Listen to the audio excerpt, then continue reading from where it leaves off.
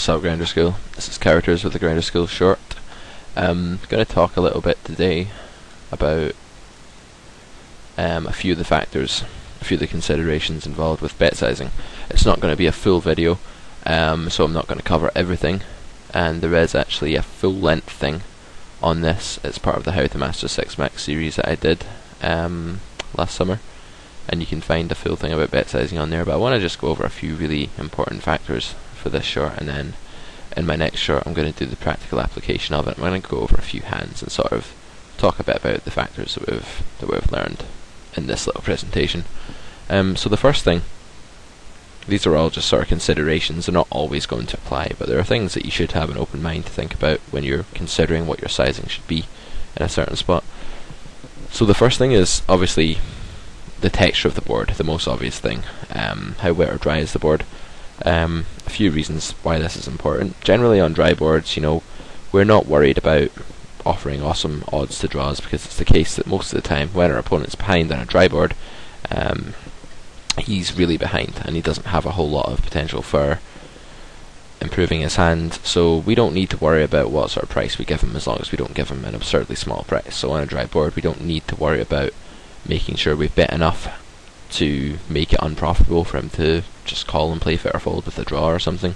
Whereas on a wet board, when there are flush draws, you know, they're immediately getting like really like tempting um, odds to continue because they're going to make their hand by the river sort of like one in three times. So, of course, that plus implied odds is going to is going to mean that we're going to need to bet a lot more for it for it to be a mistake for people to continue and stuff like that. So the wetness and dryness is important. We might want to make it closer to pot on a wet board just so people can continue with straight draws and flush draws really profitably against us and play fit or fold.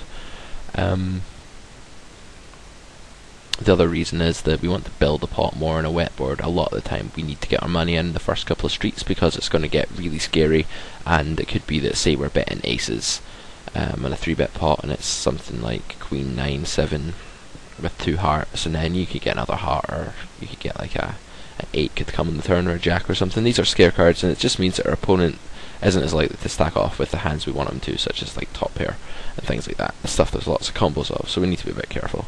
Elasticity, that's basically a concept about how likely is our opponent's range to change, calling range, how likely is that to change based on our sizing. So a really elastic range is one that our sizing is really going to impact how wide or tight our opponent continues. So we'd say a range is elastic if our opponent's always going to call, you know, like say half pot and less, but as soon as we start making it two thirds of pot, he's going to be folding a huge amount of his range. So you can imagine like the metaphor with the elastic band is very sort of stretchy and it makes a lot of change to the size of it when you sort of stretch it out. If it's inelastic, it's basically a set shape, so you could bet pot or you could bet half pot, you're still going to get called by any pair and you're still going to get folds from any non pair, something like that. You know, the kind of spot where we're c betting and we want to make it a bit smaller um, because we think our opponent's range is inelastic, so we're risking sort of the minimum we need to risk just to fold out his air. So a c-bet's a good example of an inelastic range against a you know a fish or whatever. But the end, if the guy is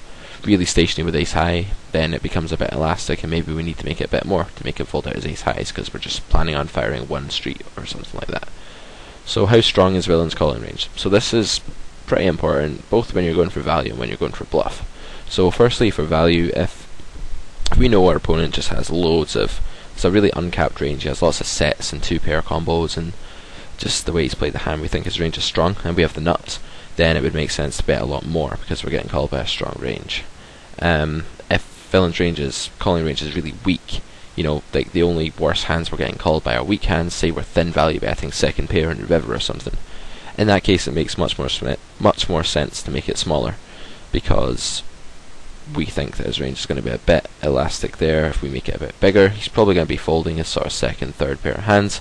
We want him to call with those because it's a thin value bet. and We don't have that much ourselves, so we need to make it smaller. So perhaps that's why we make it a third pot in the river. So how strong his calling range is going to matter.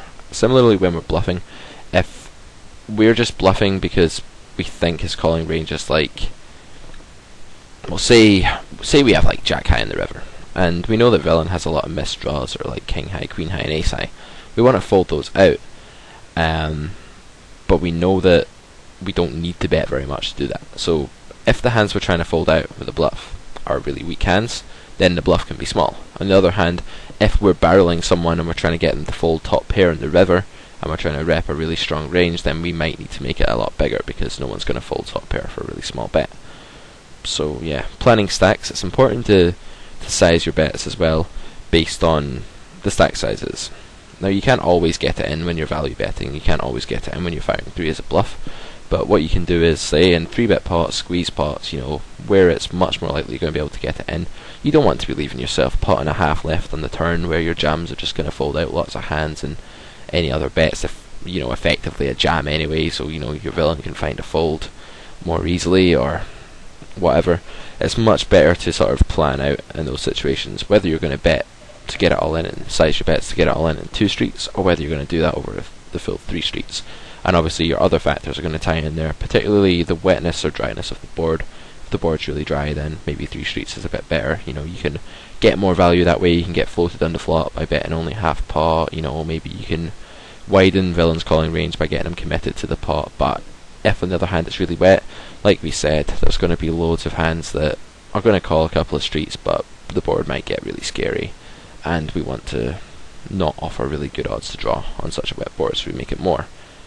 Um, finally, last consideration that we'll talk about today is the inflection point, and that's basically it's something to think about. Like if you know your villain quite well, um, you're going to get accustomed to sort of what sizes he he likes to call with certain hands and what sizes he doesn't. So the inflection point is basically say you're betting for value. What's the maximum amount I can bet here while villain's range remains unchanged? So you want to get called by a wide range. You want to think about at what sort of point is he going to start to fold, and what sort of you know vicinity of bet size is going to start to elicit a lot of folds from his range. And then when you've identified that, you can sort of find the upper end before that inflection point, and that's how you find your optimal bet size. So it's quite important to think about the inflection point as well. Um, you know, we'd love to overbet every flop against the station when we flop the nuts, and sometimes it might be good, or against the fish, but even fish have their inflection points, they might be a bit higher than that of regulars or nits, but you know, we probably can't get away with three times potting the flop unless the guy's a huge whale, because we'll have breached that inflection point and caused him to fold too much of his range. We always want to keep our opponent's range kind of wide, as wide as we can while still getting a good amount of money. Um, but you know, that's not to say that we always need to keep his range that wide. Say villain calls any amount with top pair at all, but then we can get him if we bet like half pot, we can get called by middle pair as well. In that case, we'd rather just be overbetting for value and targeting the top pair part of his range. So sometimes we want to target a certain part of our opponent's range to call with that he's calling with, and so we target our sizing. We make our sizing based on that. So these are just general principles. They're not like this is not a formula to how to size bets. They're just things that I think people don't think about enough when they're thinking about bet sizing. And in the next short, I'm going to talk a bit about. Well, I'm going to go through a couple of example hands where I think the sizing is really important and sort of link some of this in if possible. So thanks for watching, and please tune in next time where I'll go over some practical examples. Thanks.